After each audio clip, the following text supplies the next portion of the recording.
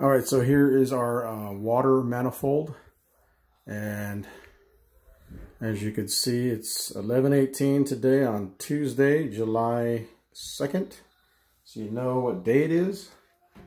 And I just want to verify that my manifold is in perfect condition. I can um, close all of them. Matter of fact, let's close all of them now. Perfectly operational. As you can see,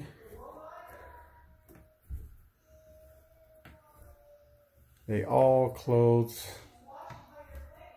just fine.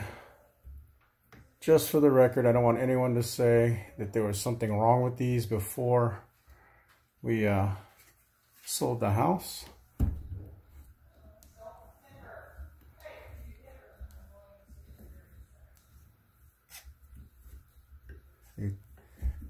Some of them are kind of tight, but they do close. They're operational. I mean, they get a little tight um, when you don't move them for four years, but as you can see, mine move just fine. That's all of them. Here, let's do it one more. You can see we can close these just fine. None of them are broken. None of them are leaking.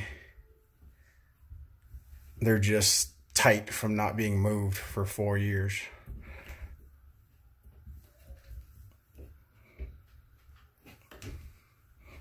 Let's go back through this one. I think this one's down. Yeah.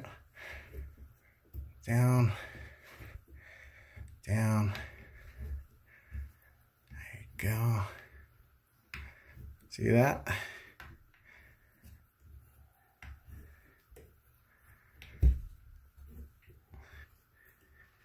The valves work fine.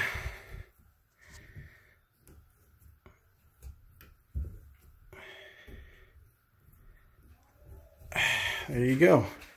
That's our water manifold on July 2nd. Perfect.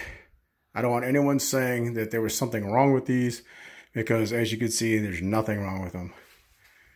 No cracks, no leaks. The valves turn just fine.